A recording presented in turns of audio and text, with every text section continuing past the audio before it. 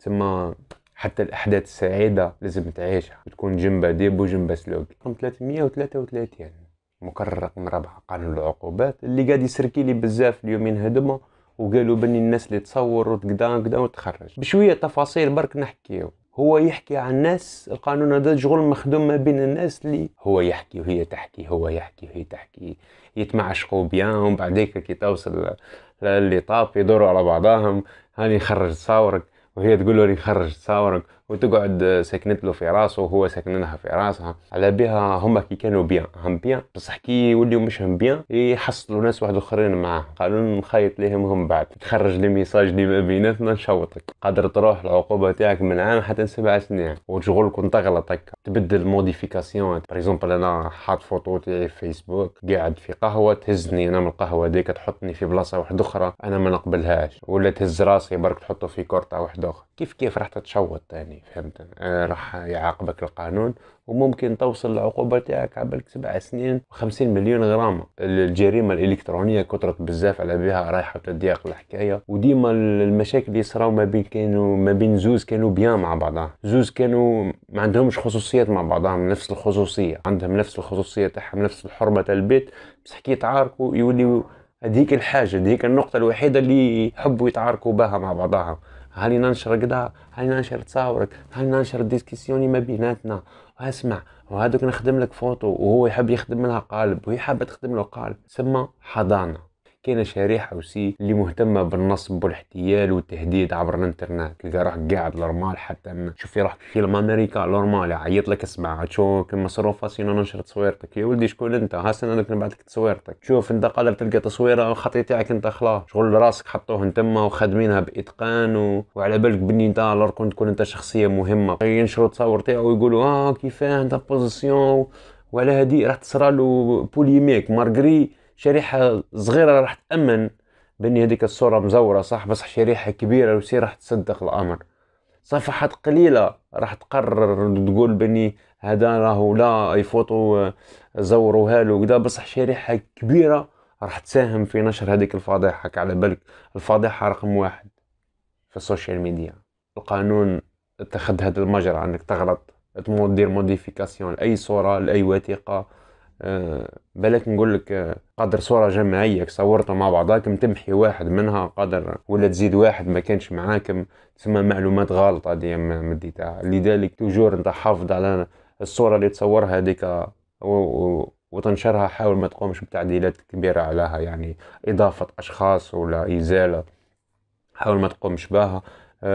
كي تصور selfie soit برا ولا الداخل في قهوة ولا أنت معدي الحوايج هذوما كل سي يشوف سيلفي هذاك ولا الفوتو هذيك قبل ما تنشرها عبر الانترنت تولي لها مليح. شكون كاين فيها؟ بالك كاين فيها واحد متعارك مع مرته ولا جريمة قاعدة تصرى ولا واحد من ما يغضب عليك من بعد. انت صورة محتوى الصورة تاعك شغل راجعها frame مش frame pixel pixel. شغل تشوف واش كاين تفاصيل الصورة واش راهي تحتوي هذه est-ce que par exemple أنا اللي واقف هك هذه صورتي أنا قررت ننشرها. بس لازمني نجول في, في الكادر تاعي نشوف التفاصيل اللي معايا ناس مش معايا. هذه شغل كيف نقول لك؟ آه، سهلة خلا يعني بتقوم بها هدية وما تلقاش حتى مشكلة. حتى كي تنشر فيديوهات لعبك التيك توك وسيبوا ولا يساهم على في نشر فيديوهاتك على بالك الفيديوهات العشوائية هي اللي ديريكت تطلع ترند تجيب آلاف ناس يهتموا بها. مش راح يهتموا بفيديو كيما فيه معلومات يعني تساعدهم. الفيديوهات هذوك قادر انت كنت تصور في حدث واحد آخر واي اكسيدون ما باليش قادر بجانب الحدث هذاك أشخاص aussi نشرطيهم بغير رضاهم. إحنا قلت لك يجي يهضر معاك يقول لك نحي نحي الصورة normal انت كون يكون راسك خشين وما تنحيش راح توصل لبلاصة واحدة أخرى. لذلك هذوما النصائح ديما même المحادثات كي تحكي مع واحد ولا même أنت متعارك معاه شوف مت... alors شوف les discussions ما تحطش confiance في حتى واحد تجي أي واحد تعرفه اي بشكل أي بشكل تعرفه ولا قريب باش قريب ليك خلاص دير في بالك بني كاين حيوصل اليوم ما تنفصلوا أنتم على بعضاكم ولا تتعاركوا ولا تتناشعوا مع بعضاكم وتحاول تخرج ديسكسيون ديك تبعتها لهم تبعتها لواحد تقول له شوف وكان يهضر معايا واحد الوقت وقال لي كدا كدا هذيك راح تحصل فيها حصلة مش نورمال فهمت؟ تسمى محادثات سرية تبقى سرية.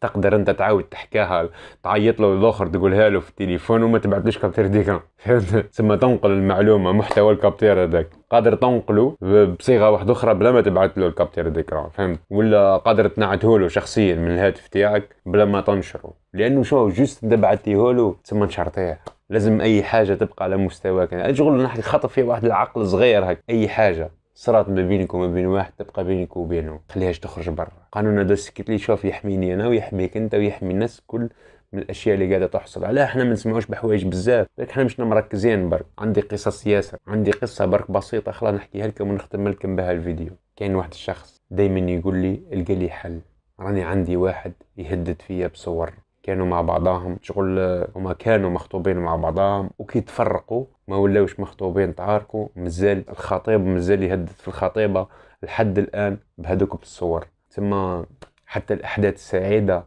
لازم تعيشها وتكون جنبها ديب وجنبها سلوك. جيسبر نكون هي هدرت ياسر بصح تكون استفدتوا حاجة. السلام عليكم.